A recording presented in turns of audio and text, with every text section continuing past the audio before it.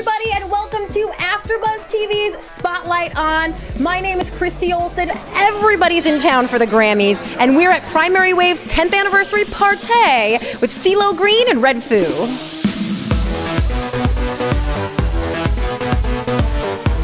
Wrapping up an awesome night of NXT TV. Now we're really gonna have a good time. You bring a date tonight?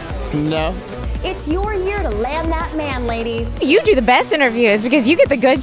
You know what I mean? I squeeze the juice. And they seem to be setting up a storyline where mm-hmm. they're teasing that maybe Rinna has some sort of an issue with Xanax. Is that what we're going to see play out? Now, you know, I mean, with over a million hits on YouTube channel, I mean, it's safe to say that you know what it takes, you know, to make a successful viral video. Maury, it's about evoking emotion from people. You want to make the people feel something, right? Yeah. She doesn't know who is after her or why, so she panics and speeds off.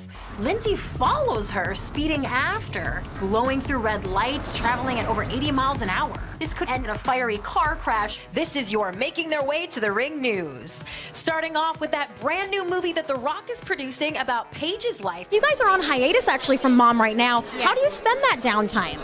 What do you get the man that has absolutely nothing? One of those director's chairs with your name on the back. I would love that. I don't have that. Well done. I've got the exclusive at ChristyReports.com.